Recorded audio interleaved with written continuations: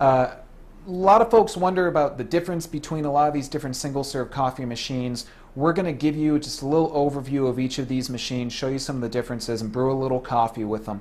Uh, what I've got here today on my left hand side, the Keurig B70. It's kind of like the Cadillac of Keurig machines. It's really the best one you can get on the market for the most part.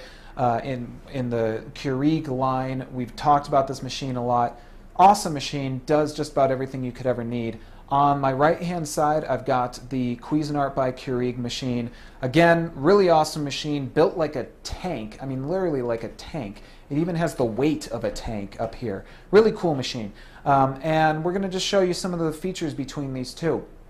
So, of course, both of them have a water tank that will just keep water hot and ready for you. There's a little bit of a difference here. On the Keurig, on the B70, we have a 60 ounce water reservoir. We've got an 80 ounce reservoir in the Cuisinart machine.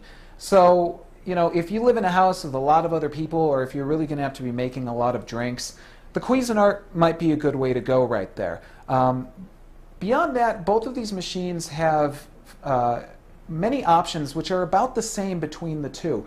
Um, on the Keurig machine and on the Cuisinart, we've got this nice big blue backlit LCD screen that gives us a readout of information about the machine. We can change the temperature on both of these machines, the brew temp. We can change our cup size, things like that. So the screen is kind of your home base. That's where you'll be able to just find out everything that's going on. Both of them have menu options, which we can access just by pressing the menu buttons. That lets you set the clock, set on off times, things like that. Um, on Again, on both of them, we've got these arrow buttons that let us control the menu and also choose the cup size. So that's very important. Both have the all-important brew button, although the brew button is obviously more monstrous on the Cuisinart machine. And um, the Cuisinart has a couple extra buttons, which the Keurig doesn't, obviously. It's got a rinse button, and it's got a hot water button. So you can rinse this machine out just by using the rinse button right there. If you want to just make hot water uh, for maybe doing something like brewing French press coffee using your machine, as we've talked about here, making instant noodles, things like that, you've got access to that. However, the Keurig B70 can still make hot water uh, rather than just making coffee. And all you need to do is just lift up the brew head, close it up, and you can make hot water direct. So they can both do hot water. Uh, both of these machines make the same drinks. They both use K-cups.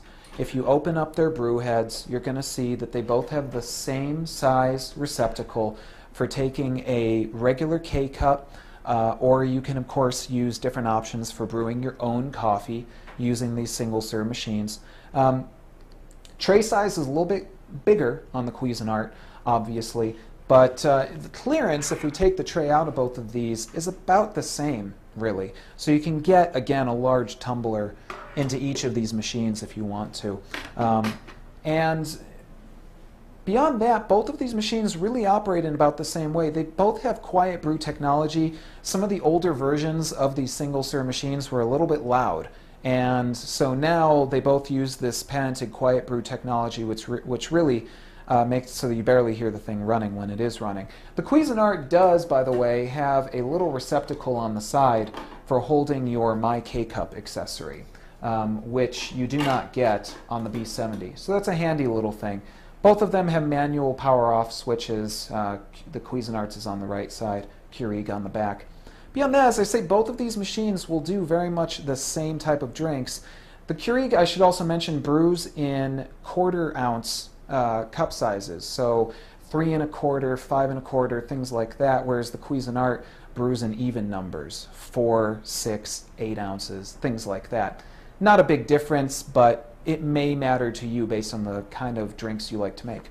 That's really about it. So you tell you what, let's show you how both of these brew and just brew at the same time with each of them. I'm just going to go ahead and grab out some Island Coconut by Green Mountain Coffee right here pop these guys open. They're both sealed, ready to go.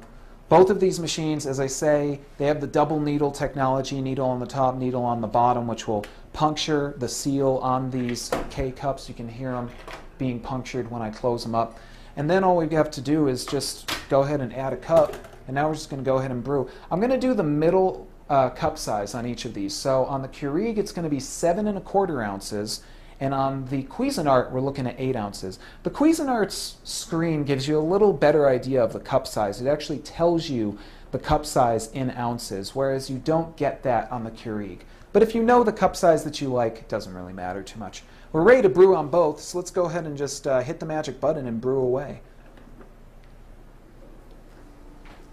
We'll see uh, who wins the race right here, although they're going to both be about roughly the same. Oh, Cuisinart is off to a good start. And the Keurig's just a little bit behind it. So you can see both these machines are really fast and super quiet, and that's one of the great things about them. As always, I'm going to mention, as the machines do their job, I'm going to do mine, mention aromacup.com. Please check us out, make a free account, talk with other coffee lovers, join our forums, read reviews, check out videos about single serve coffee machines. We'll help you to demystify the world of single cup coffee brewing at aromacup.com.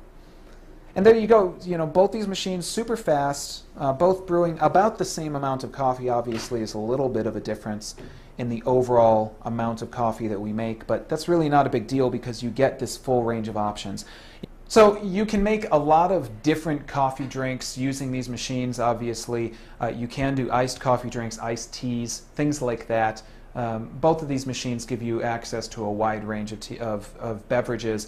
And you've also got, because of that, you have the ability to brew very small drink sizes, which is really good for iced beverages.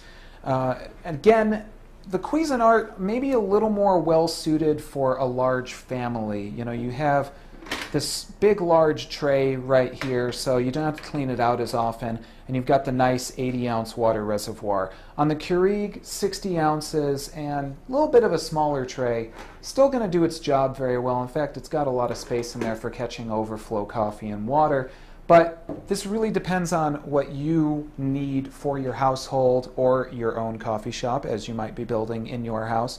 Uh, but we just want to go ahead and show you guys some of the awesome features between these two machines. I personally love them both. I've used them both a lot. I can't say that I have a favorite one yet, um, but I will tell you that the Cuisinart, as I say, it's really built like a tank. I mean, nice metal up on here, but the look of both, again, very appealing. Great uh, to have on your countertop, and really just great machines overall. I hope this has been useful to you guys. Thank you guys so much for watching and joining me here in my virtual coffee shop brought to you by aromacup.com. Join us on the website and check out more of our videos. As always, enjoy your cup. I'm your host, Brian.